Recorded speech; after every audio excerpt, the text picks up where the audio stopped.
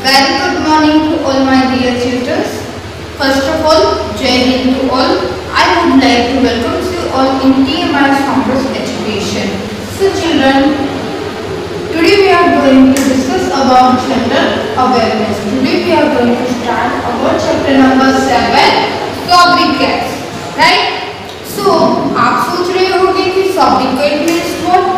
So बच्चों, मैं आपको बताती हूँ कि Copycats that means a nickname or familiar name. Right? एक nickname होता है which is given to some person, place or thing. जैसे कि हमारी मम्मा हमें निकनेम से बुलाते हैं ना गुड़िया या फिर कान्हा तो ऐसे ही जो निकनेम होते हैं उसको सॉबिकेट्स बोला जाता है ओके यहाँ पर डिफरेंट डिफरेंट सिटीज़ दिए गए हैं चैप्टर नंबर सेवन में जिसके बारे में जिसका सॉबिकेट यानी कि फैमिलियर नेम और popular name we can say right प्रख्यात बढ़ गए राइट तो उसके बारे में हमें यहाँ पे देखना है।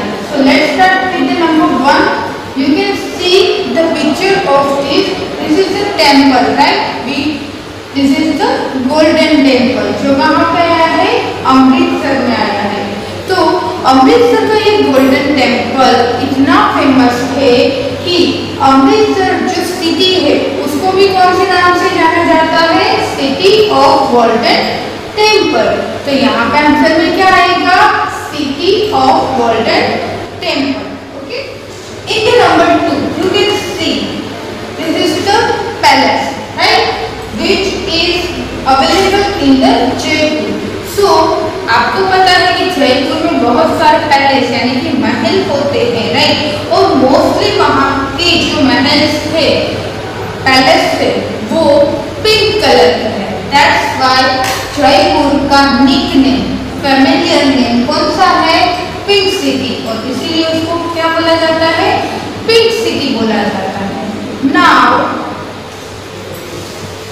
चिल्ड्रन साथ साथ में हम रियल लाइफ और रिमेम्बर भी देख लेते हैं। रियल लाइफ में आपको क्या करना है? You have to think about your two friend आपके जो सबसे अच्छे दो फ्रेंड थे उसके आपको निकनेम फाइंड करने हैं आप बुक लोगे, आपके दो फ्रेंड का नाम लिखोगे और उसके निक नेम्स लिखोगे ओके और आपके पास वो रीजन भी होना चाहिए कि आपने वो निक नेम क्यों दिया है? जैसे कि यहाँ पे अमृतसर और जयपुर हमने देखा तो उसके पीछे, उसके निक नेम के पीछे उसका रीजन था। ये गोल्डन टेंपल बहुत फ़ेमस है और यहाँ पे हर एक उसकी, जयपुर की सिटी में बहुत सारे पिंक बिल्डिंग होते हैं, इसीलिए उसको पिंक सिटी बोला जाता है। तो आप भी जो अपने फ्रेंड्स के नाम दो निकनेम दो, उसके पीछे कोई रीजन सोचना और उसके बाद उसका नाम सोचना ओके सो आप रफ बुक में दो नाम लिखोगे अपने फ्रेंड के और उसके निकनेम के लिखोगे और मुझे फ़ोटो क्लिक करके सेंड करोगे। Now we are going to move about the remember think only good thing हमें हमेशा क्या? अच्छा। ठीक जनरली भी क्या बोलते हैं? थिंक पॉजिटिव हमें हमेशा दूसरों, दूसरी प्लेस या दूसरे पर्सन में अच्छाई देखनी है। किसी की बुरी चीज़ हमें ध्यान में नहीं लेनी है okay so we have to think only good qualities do not find fault in other generally हम दूसरों में फॉल्ट फाइंड करते हैं बट वो हमें नहीं करना है। जस्ट ओनली गुड क्वालिटीज ही देखनी okay now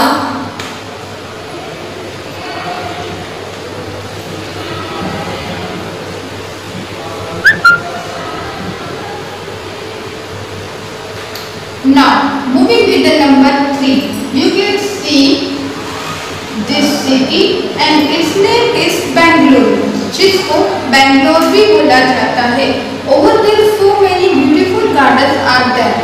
That's why it is known as Garden City of India. उसको Garden City of India भी बोला जाता है Children, Bangalore is the capital city of Karnataka. जैसे हमारी गुजरात की कैपिटल सिटी है, गांधीनगर, वैसे ही बेंगलोर है, वो किसकी कैपिटल सिटी है? कर्नाटका ओके सो यहाँ पे आएगा garden city of India now moving with number four and last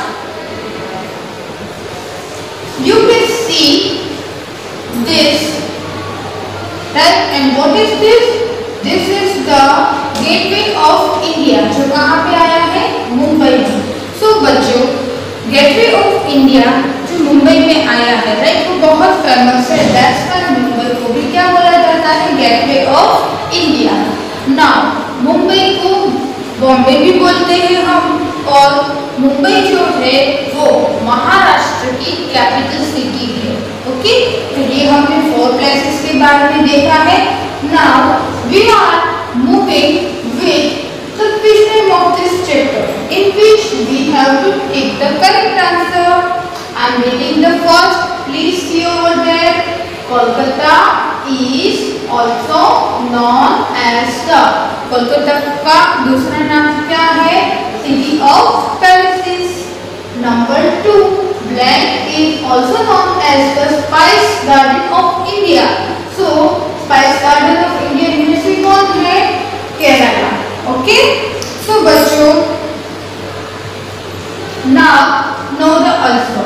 Bengaluru is known by another sobriquet that is Silicon Valley of India. Bengaluru को सिलिकॉन वैली ऑफ़ इंडिया भी बोला जाता है okay सो बच्चों, ये था हमारा chapter number seven sobriquets right जिसमें हमने फोर डिफरेंट डिफरेंट प्लेसेस के बारे में जाना है।